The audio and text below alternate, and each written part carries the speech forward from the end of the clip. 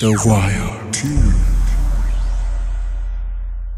गैर मान्यता प्राप्त स्कूलों पर शिक्षा विभाग द्वारा की जा रही कार्रवाई को लेकर अब निजी स्कूलों में हड़कम मचा हुआ है। अधिकतर स्कूलों को बंद करके प्रशासन मौके से फरार हो गया है। शिक्षा विभाग ने 32 टीमें नियुक्त की है। क्षेत्र में करीब क्षेत्र में करीब चौसठ स्कूल बताए जा रहे हैं। लेकिन इस मामले में किसी भी स्कूल के खिलाफ कोई कार्रवाई अभी तक नहीं हुई। ये माननीय निदेशक महोदय के आदेश के अनुसार और जिला शिक्षा अधिकारी के आदेशानुसार जो दो हज़ार ग्यारह में का लखनपाल वाला केस था। कुछ स्कूल वो थे और बाकी जो यूडाइस केस और या अन्य उसके कारण के उसमें जो भी हमें, हमारे ब्लॉक में चौंसठ स्कूल ऐसे थे।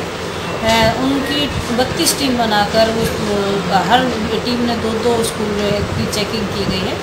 जिसमें तीन स्कूल ऐसे हैं जो मान्यता प्राप्त पाए गए हैं, जिसमें से दो पूरी तरह से प्राइम प्राथमिक विद्यालय की मान्यता एक सेंट जोन जो है वो केवल उसके पास छः से आठ की मान्यता है।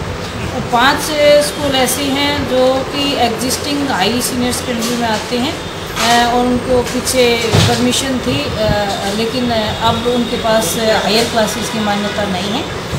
और दो स्कूल ऐसे हैं जो प्ले स्कूल हैं, जैसे रमा तीर्थ और एक विवेकानंद अकेडमी, जिन्होंने social welfare depart women and child department को मान्यता के लिए फ़ाइल लगाई हुई है।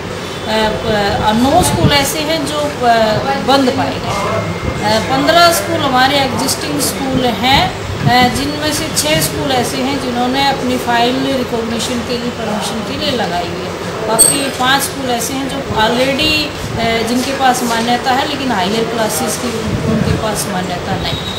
एफ़ आई आर के लिए डिपार्टमेंट के आदेश थे, लेकिन कुछ जगह थानों में जो है ना एफ़ आई आर को लेकर अभी केवल एप्लीकेशन ली है या सिर्फ़ डायल नंबर लिया गया है एफ़ आई आर के बारे में जिला शिक्षा अधिकारी ज़्यादा इसके बारे में बता पाएँगे कि उसका आगे क्या कार्रवाई मेरे संज्ञान में इस इससे आगे का मामला नहीं